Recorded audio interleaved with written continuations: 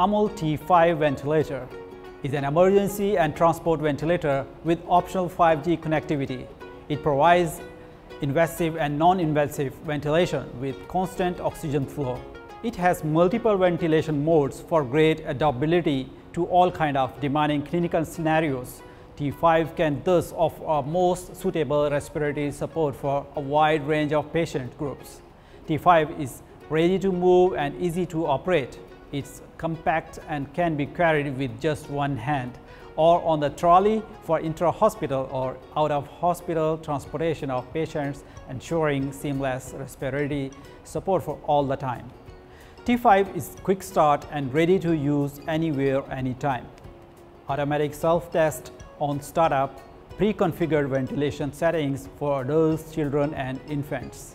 The CPR mode is conformed to AHA and ERC guidelines. Its IP44 dust resistant and waterproof makes it possible to work in tough environment. AMOUL T5 installation is quite easy.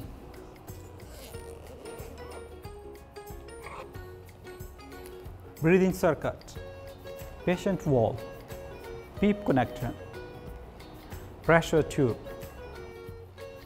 patient mask, oxygen connection tube, oxygen cylinder 2.5 liter. Installation of T5 is very easy. Firstly connect oxygen tube, then pressure sensor and PEEP connection tubes. Finally breathing circuit tube. On the other end, connect PEEP connection tube and pressure sensor tube on the patient valve. And lastly, connect the patient mask. Now it's installed. On the right side of T5, there are five buttons and one navigation knob. Power on off button, screen lock unlock button, main menu button, alarm mute button, manual ventilation button. The patient type can be selected in the settings.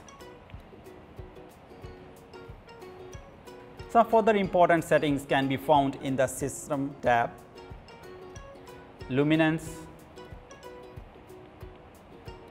Pressure Unit, Desktop Style, Wave Style, Language, ETCO2, HFNC, and don't forget to press save after your configuration is done. During the ventilation, the screen is divided into three sections, monitoring parameters, waveform and parameter settings. On the bottom, there are four quick keys, alarms, events. T5 can store up to 500 events.